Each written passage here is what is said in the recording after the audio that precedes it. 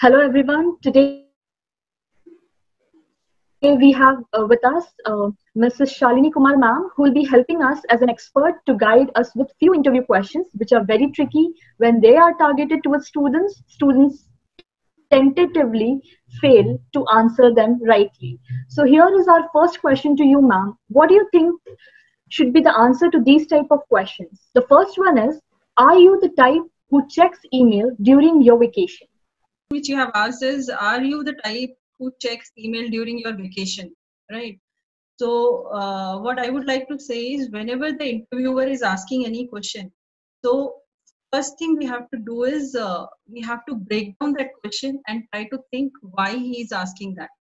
So what is the specific thing which he wants to know about me by asking that question?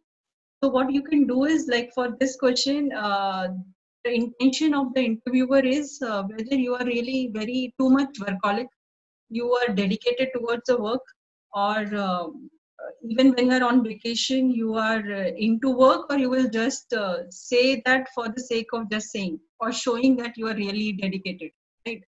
Uh, so you have to be you don't have to just say that okay i will be checking the mail which I think when someone is on vacation, it's the time to enjoy and uh, spend the time with your dear ones.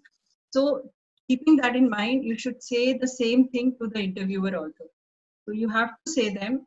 Like there are many multiple uh, ways of answering this question, but uh, what you can do is you can confirm your dedication to getting your job done, and also you have to convey that uh, you are basically like uh, what you can say uh, you are responsible for the job which you're doing and you will finish it off. And once you are with the family or you are on vacation you will try to do what you're doing in the best, best possible